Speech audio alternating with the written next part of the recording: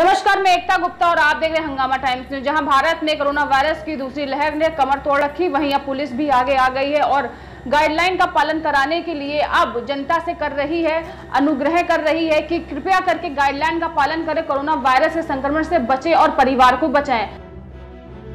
फतेहपुर में जहाँ पुलिस अधीक्षक सतपाल अंतिल ने जनता से अनुग्रह किया है कि गाइडलाइन का पालन करें तथा दूरी और मास्क ज़रूरी की बात उन्होंने जनता से कही है। नज़र डालते फतेहपुर से आने वाली इस खबर पे एक नज़र। फतेहपुर में कोरोना संक्रमण के बढ़ते खतरे को देखते हुए आम जनता से कोरोना संक्रमण की रोकथाम के लिए मिलजुल कर कार्य करने की अपील पुलिस अधीक्षक सतपाल आंदोल ने की है। साथ ही कोरोना कर्फ्यू के दौरान कोविड गाइडलाइन का पालन कराने के लिए लोगों को जागरूक करने के लिए तथा उनकी मदद करने के लिए पुलिस को निर्देशित किया है। इसके साथ ही पुलिस अधीक्षक ने गश्त करने के और बिना मास्क के अनावश्यक रूप से घूम रहे अराजक तत्वों का चलान करने के भी निर्देश दिए हैं। पुलिस अधीक्षक ने कहा कि आज कोरोना महामारी बहुत बड़ा संकट बनकर हम सबके सामने खड़ी है। कोरोना से बचने के लिए कोविड गाइड का पालन करना बहुत ज़रूरी हो गया है। इसलिए कोरोना संक्रमण की रोकथाम के लिए सरकार की गाइडलाइनों का पालन अवश्य करें। सभी लोग मास्क पहने और भीड़ वाले स्थानों पर अनावश्यक न जाएँ।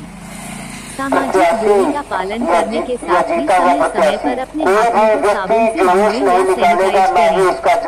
यदि किसी भी व्यक्ति को कोई समस्या होती है तो पुलिस उसकी मदद करने को हमेशा तत्पर है। परंतु अनावश्यक रूप से घर के बाहर न निकले। सरकार द्वारा निर्धारित की गई कोरोना गाइडलाइन का कोरोना कर्फ्यू में पूर्णतया पालन करके पुलिस की मदद करें। मदद करें।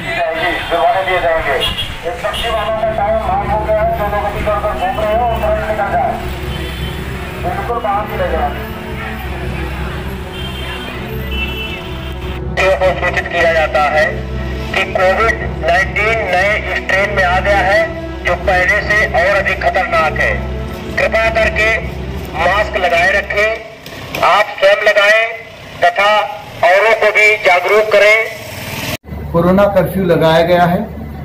कोरोना कर्फ्यू की सभी गाइडलाइंस का आप सभी अनुपालन करें और संक्रमण की चेन तोड़ने में